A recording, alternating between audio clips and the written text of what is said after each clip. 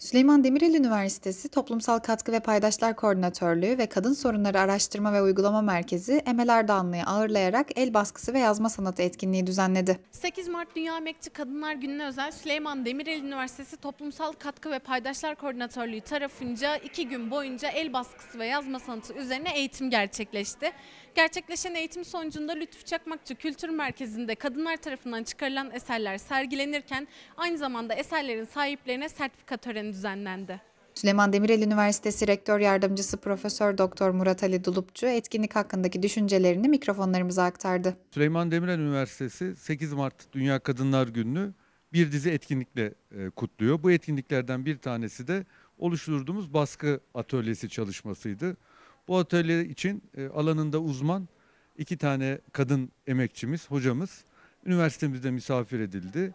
Bu çerçevede bu çalışmada gönüllü olarak yer alacak kadın kooperatiflerinden 15 tane kadınımızı çağırdık. Onlarla birlikte iki günlük bir eğitim atölyesi düzenlendi ve bu atölye sonucunda elde ettikleri el emeği, göz nuru, kadın emekçilerimizin ter akıtarak ürettikleri ürünleri bugün bir sergi açılışıyla onurlandırdık, sergiledik ve kutlamış olduk. Bu etkinliğin önemi şöyle, bir yandan e, üniversitemiz hem öğrencilerine ama sadece öğrencilere sınırlı kalmayarak Isparta bölgesinde yer alan, kooperatiflerde görev alan emekçi kadınlarımızı alanında Türkiye'de uzman olan baskı uzmanlarıyla buluşturma fırsatını elde etti. Diğer boyutuyla da işte kendi e, hocalarımız, kendi öğrencilerimiz de bu sürece dahil olmuş oldu. Çünkü kadınsız bir toplum düşünemiyoruz. Kadın toplumun her yerinde, her aşamasında var.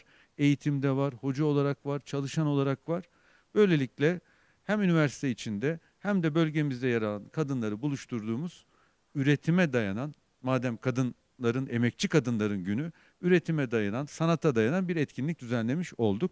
Umarım bu etkinlik sonucunda ortaya çıkan ürünler ve eğitimin sağladığı faydalar tüm emekçi kadınlarımıza bir değer yaratmış olur. 8 Mart Dünya Emekçi Kadınlar Günü etkinlikleri kapsamında gerçekleşen sergi Lütfü Çakmakçı Kültür Merkezi'nde bekleyenleriyle bir araya geldi. Valla Kadınlar Günü'ne denk gelen bir etkinlik yapılması, böyle bir etkinlik yapılması çok mutlu etti bizi. Ürünlerimizi görüyorsunuz. Devamını istiyoruz hatta böyle bir etkinliği. Ee, İlk defa hayatımda e, yazma atölyesine, baskı atölyesine katıldım ve e, çok güzeldi. Çok güzel bir etkinlikti.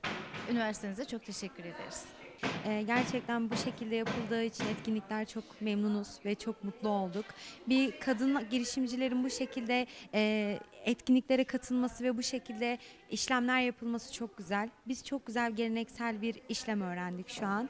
E, bunu çok kısa bir sürede öğrendik ama çok zevkli geçti. Hepimize e, ayrı ayrı herkese teşekkürlerimizi sunduk. Güzel bir etkinlikti. İnşallah bunun devamını bekliyoruz. Yani bu gerçekten Isparta'daki e, katkı sağlayacak bayanların daha çok katılacağına eminim.